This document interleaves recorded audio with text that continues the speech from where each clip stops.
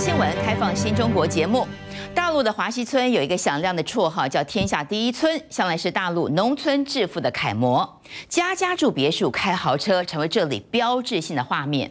但是最近呢，却传出风光不再，负债高达台币千亿元，从云端跌落，经济发展出现了重大困境。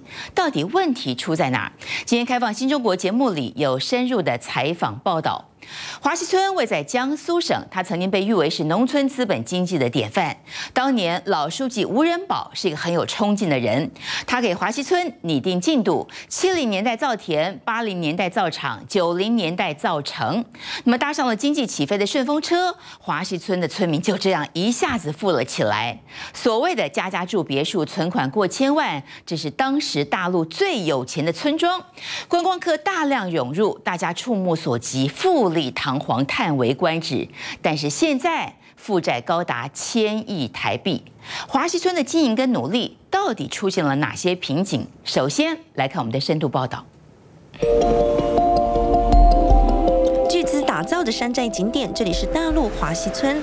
过去靠着仿造国外著名的建筑稀客，村里头还有两架价值四亿五千元台币的直升机，看得出当年的雄心霸气。但这些二十年前稀客的玩意儿，现在不流行了。从数字上看，景区一年的接待量从最高两百五十万人锐减到只剩一百五十万人，被视为农村致富典范的华西村，传出遇上瓶颈。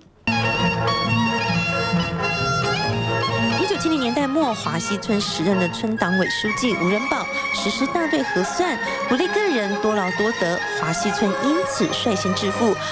且发展企业，做纺织、冶金和钢铁，如今打造了两百零八家企业，总资产达五百四十二亿。只可惜，随着大陆经济的活跃发展，支撑华西村为主的钢铁业，从二零零八年开始就下滑。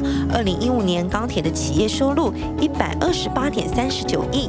仅为二零零七年的一半，在观光和产业结构都面临挑战的情势下，这个富豪村庄传出了负债达三百八十九亿，是到了该转型的地步。春暖花开，大爷大妈们认真听着导游讲解，这里是传说中的天下第一村。旺季每年能吸引千人造访，整个农业观光示范基地有百分之七十的农作物采用立体式栽培。这个里面盆子里面就是说我们配的有用三种嗯不同的物质，呃，蛭石、珍珠岩、草炭。准时下正热门的农业旅游，华西村也走回淳朴老路，打造深度农村游，全力发展智能化农业。因为我们现在的农业啊，做农业啊，一定要结合观光、科普、生态去做。另一个呢，我们。比如说种的水稻，哎，让人家来看我们是怎么种的，是用什么方法做的。所以我们为此呢，专门派了七个年轻人到日本去学习他们的农业技术。吴先生是现任的村党委书记，也是吴仁宝的四儿子，和老爸一样有着勇于创新的精神。农业项目也不单就是种稻除草而已。这个地方呢，就是我们的低温仓库。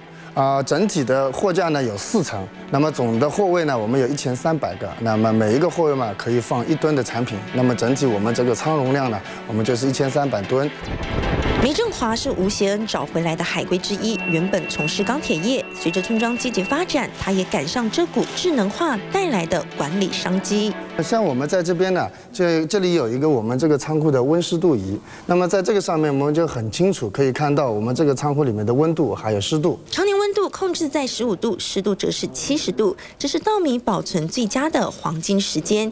沿袭日本的保存技术，比起过去节约了一半以上的人事成本，更能。有效的确保稻米品质，这套智能化管理系统也运用到灌溉。这个呢是我们是一个智能灌溉系统。那么现在我们在画面上看到的呢这一排呢就是我们的整个的一个呃出水口。那么我们通过在这个电脑屏幕上进行控制啊，控制。那么在这个需要在个水稻田灌溉的时候，我们就把这个阀门打开，透过后台的电脑监控调节水量，从种植到保存，能有一套精准的 SOP，让自家出产的米在光照下能晶莹剔透，几乎无杂质。行情能卖出一斤五十八元，约台币两百九十元的价格。华西村积极朝智能化转型的一环，当然拥有这些还不够。鸡蛋不能放在一个篮子里，那么我们也要走出去发展，看看有更多其他好的机遇。你比如说，像我们到欧洲，啊就专门去跟他们合作做那个新能源企业啊产业这一块。你比如说我们在东南亚地区，主要是做海上工程这一块啊。你比如说到非洲。哎，我们主要是去做那个矿产资料这一类的。别看这三四线城市中的农村总是能跑在他人前面，即便面临船产不景气所带来的冲击，也深知必须搭上智能化发展，还把触角布局海外，能否再创下一世代的繁华？华西村正在努力。